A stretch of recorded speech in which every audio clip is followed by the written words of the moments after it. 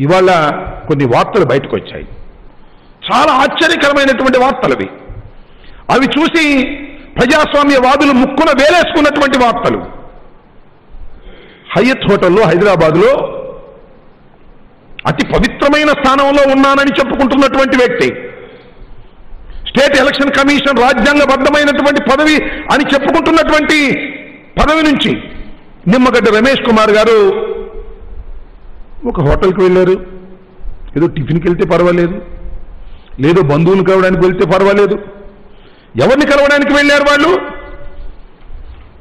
ఆయన యలమంచలి సత్యనారాయణ చౌదరి గారిని కలవడానికి వెళ్ళారు. అంటే వారి పేరు సుజనా చౌదరి గారు. కొమ్మినేని శ్రీనివాస్ కొమ్మినేని శ్రీనివాస్ గారు. కామినేని శ్రీనివాస్ గారు.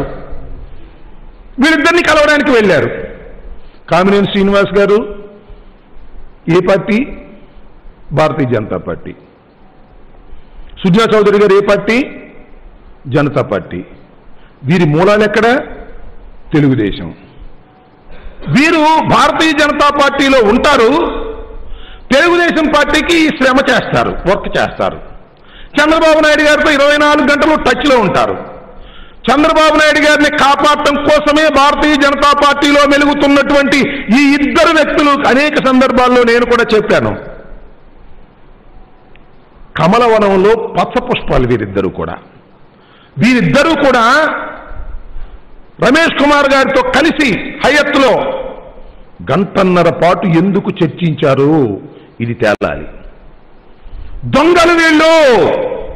ఈ రాష్ట్ర ప్రభుత్వాన్ని భ్రష్టు పట్టించడం కోసం చంద్రబాబు నాయుడు గారికి అనుకూలంగా కుట్రలు చేస్తున్నటువంటి వ్యక్తి రమేష్ కుమార్ నాయుడు గారు.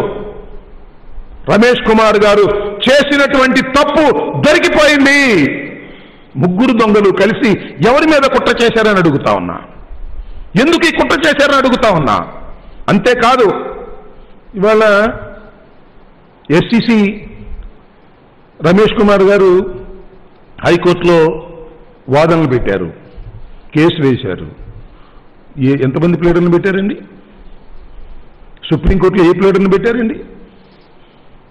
ఒక గవర్నమెంట్ ఎంప్లాయ్ ఒక రాజ్యాంగబద్ధంలో ఉన్నటువంటి వ్యక్తి ఒక ఐఏఎస్గా పనిచేసినటువంటి వ్యక్తి ఈ ఫీజులన్నీ చెల్లించగలుగుతాడండి? ఇంత వ్యయాన్ని కట్టగలుగుతాడండి? ఎక్కడి నుంచి కడుతున్నారు ఈ డబ్బంతా? ఇదంతా చంద్రబాబు నాయుడు గారి జేబులో డబ్బులు కట్టి ఈ ప్రభుత్వం మీద భ్రష్టు పట్టించాలనే ప్రయత్నం చేస్తున్నటువంటి వ్యక్తి రమేష్ కుమార్ గారు. రమేష్ కుమార్ గారు రాజ్యాంగబద్ధ పదవిలో ఉండడానికి అర్హత కోల్పోయినటువంటి వ్యక్తి. ఒక కుట్ర స్వభావం కలిగినటువంటి వ్యక్తి. ప్రభుత్వం మీద ధ్వజమెత్తి ప్రభుత్వాన్ని భ్రష్టు పట్టించాలని ఒక రాజకీయ పక్షంగా వ్యవహరిస్తున్నటువంటి వ్యక్తి రమేష్ కుమార్ గారు. ఆయన వాళ్ళ హయత్తులో దొరికిపోయాడు. ఈ ముగ్గురు ఎందుకు కలిశారు? కలిసి ఏం మాట్లాడారు? ఈ ప్రభుత్వాన్ని కూల్చాలని ప్రయత్నం చేస్తున్నారా? ఈ ప్రభుత్వం మీద దాడి చేయాలని ప్రయత్నం చేస్తున్నారా? ఈ ప్రభుత్వాన్ని భ్రష్టు పట్టించాలని ప్రయత్నం చేస్తున్నారా? ఇదే కామినేని శ్రీనివాస్ గారు ఇక్కడ కోర్ట్ ఇక్కడ కోర్టులో హైకోర్టులో పబ్లిక్ ఇంట్రెస్ట్ లిటిగేషన్ వేశారు. పబ్లిక్ ఇంట్రెస్ట్ లిటిగేషన్ కాదది. కేవలం రమేష్ కుమార్ గారికి అండగా ఉండటం కోసం వేసినటువంటి పిటిషన్ అది. లాలూచి పడి వేశారు. ఆయన పిటిషన్లో ఏముందో సేమ్ ఈయన పిటిషన్లో కూడా అదేగా కట్ అండ్ పేస్ట్ పెట్టి చేసినటువంటి సందర్భం. అంత కుమ్మక్కైపోయారు వీళ్ళందరూ కూడా.